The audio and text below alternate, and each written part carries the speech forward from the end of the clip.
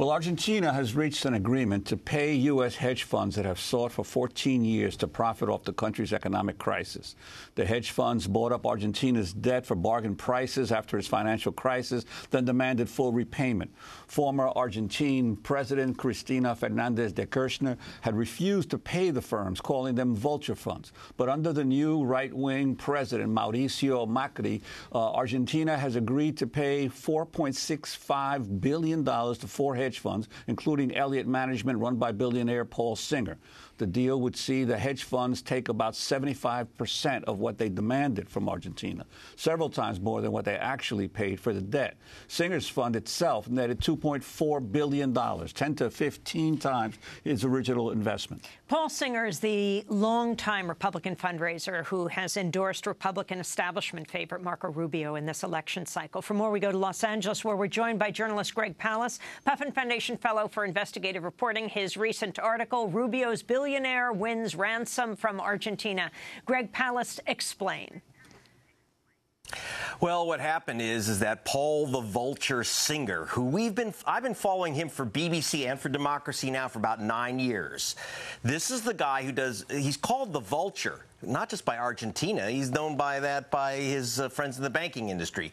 He grabs old debts of dying nations, dying companies, even dying people and um, you know, when there's a famine or a war, for example, in Argentina during the military dictatorship, uh, when Argentina went broke, um, he bought up old bonds for $50 million, just sold them back to the government of Argentina, a government he helped place in power for $2.5 billion. Um, and he does this, he did this through what the Argentine government and the United States Treasury call extortion.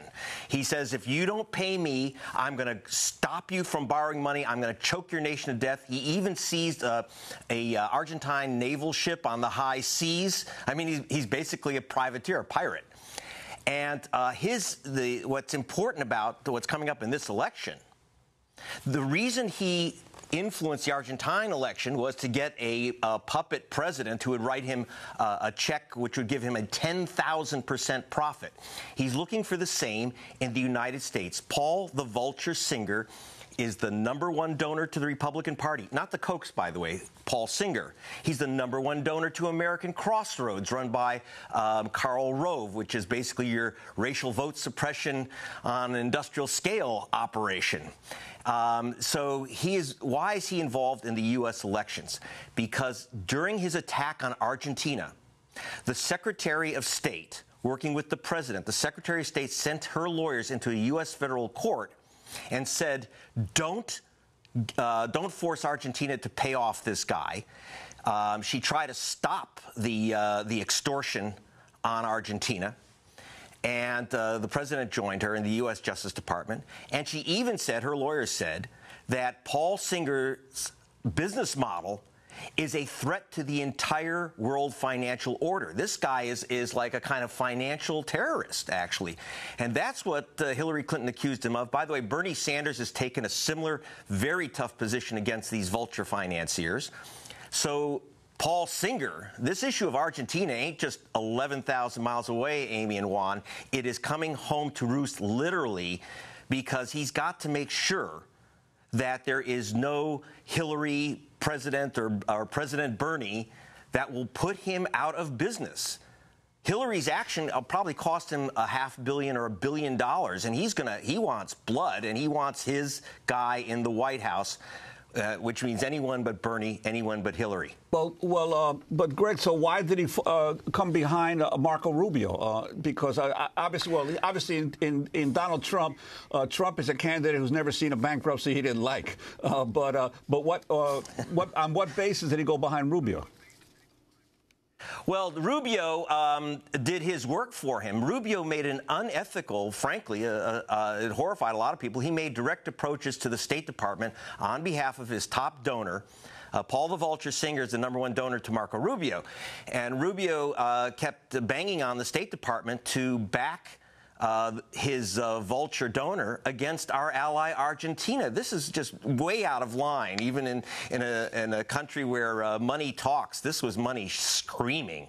Um, and uh, the other thing is that, uh, for example, uh, Rubio was a, was uh, trying to help Puerto Rico by um, allowing Puerto Rico to have bankruptcy rights like any like any American state, and then suddenly um, a, another vulture uh, financier, friend of uh, Singer, called Herenstein, held a big fundraiser for Rubio. Rubio flipped around his position on Puerto Rico and said, no, they shouldn't have any rights.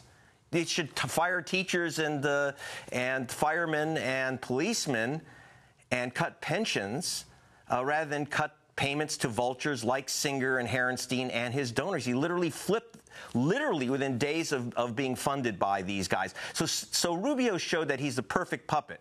Now, do understand, I don't think they expect Rubio to pull it off at this point. That would be their dream.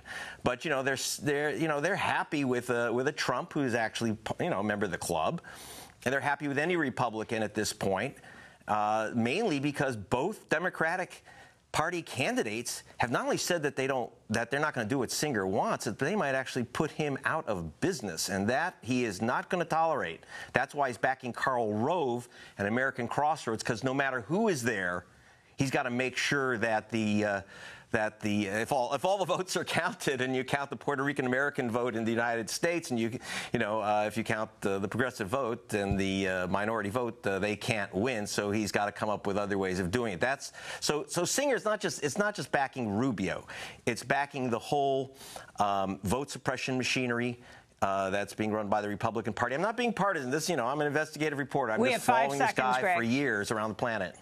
Greg, I want to thank okay. you very much uh, for being with us from L.A. Journalist and Puffin Foundation Fellow for Investigative Reporting. His recent piece will link to Rubio's billionaire wins ransom from Argentina.